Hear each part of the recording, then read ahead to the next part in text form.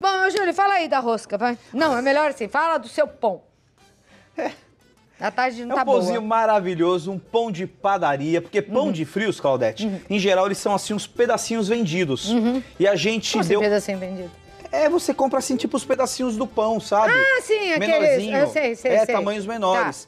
Essa versão de rosca, é, no formato de rosca, é uma versão especial pro Santa Receita. Júlio Cruz. Não existia, nenhuma padaria faz. Se alguma começar a fazer, é porque é esperto, sabe que é bom. Então, se fizer, vai ter que pôr rosca Santa Receita. Exatamente. Ou rosca Júlio Cruz. É, rosca Santa Receita fica Certo. bem mais legal. Tá bom. Vamos para o recheio. Vamos lá, JC. Me fala aí, o que, Vamos lá, você vai vamos, refogar um recheio bem gostoso, que refogado ele sempre fica melhor, Claudete. Isso daí é quando querida. o chefe não tem o que fazer, a receita é simples enrola. Não, não isso É. aqui é o seguinte. Isso é pra enrolar a apresentadora, que eu Não, isso é pra fazer sei. uma a coisa receita mais era tão além. simples que ele vai fazer um refogado só pra tomar o tempo. Mas refogado fica Em muito mais não gostoso. precisa. Aquele aroma refogado da cebola faz que é bom, minha gente. Aham. Oi? Nada. Então vamos embora.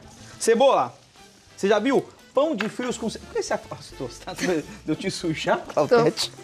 Eu já te sujei alguma coisa? Não, imagina. Você é Não? um santo, imagina.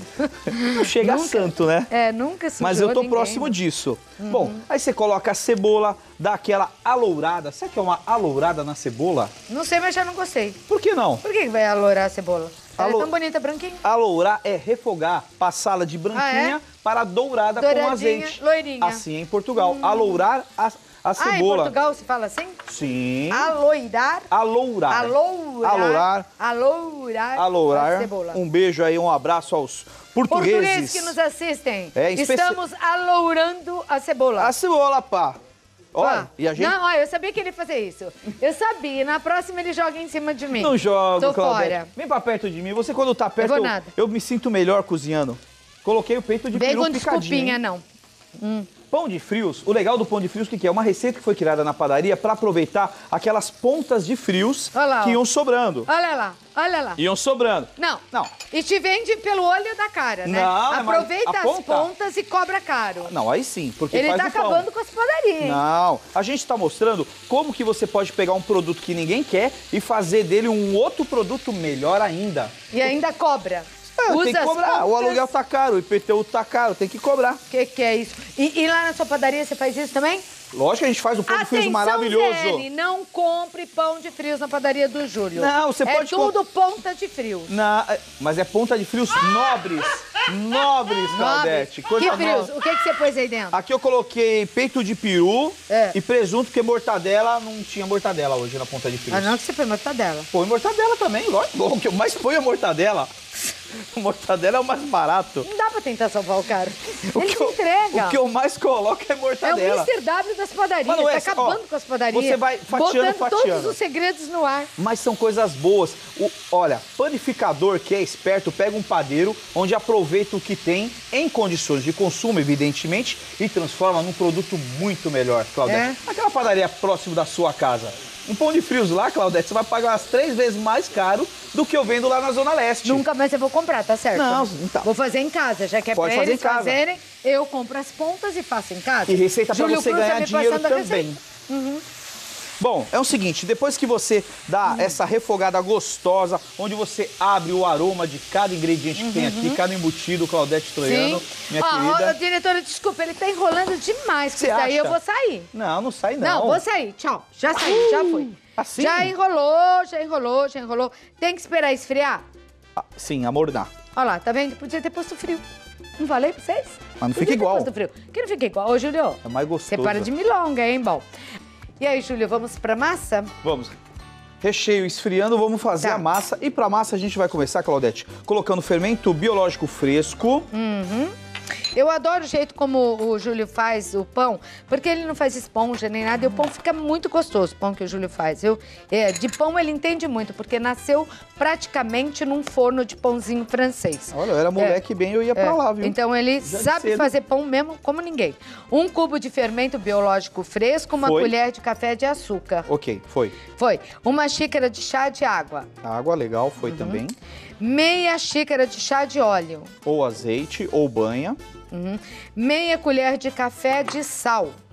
Meia colher de café de sal. E três xícaras de chá de farinha de trigo.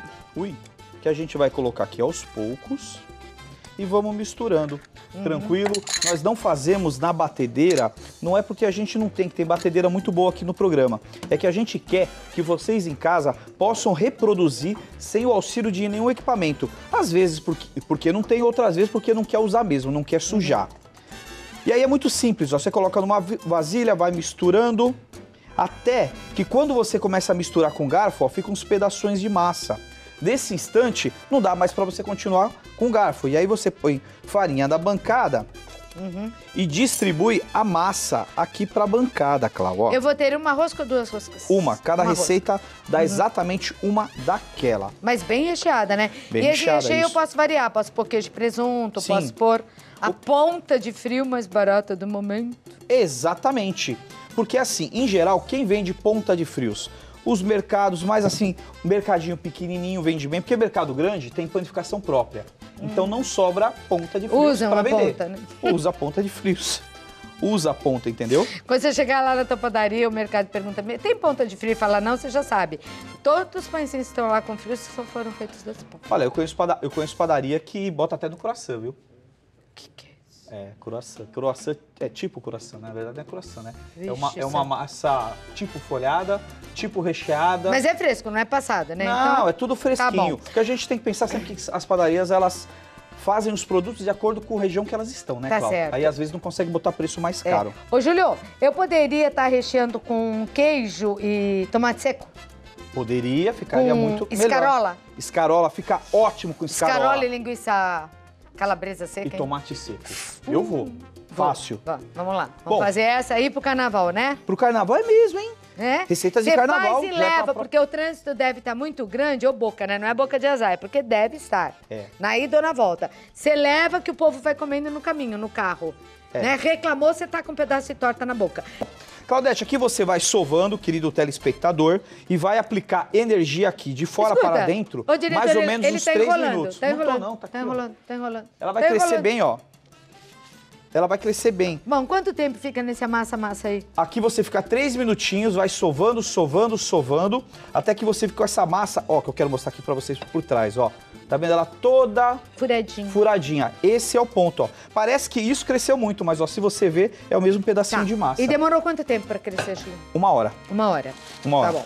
Bom, agora, pessoal, a gente Agora vai nada. abrir. Agora não, não vai abrir nada. Não vai vamos abrir, sozinho. Claudete? Ah, abre sozinho aí que eu já venho, tá bom? Ó, Júlio, massa na bancada.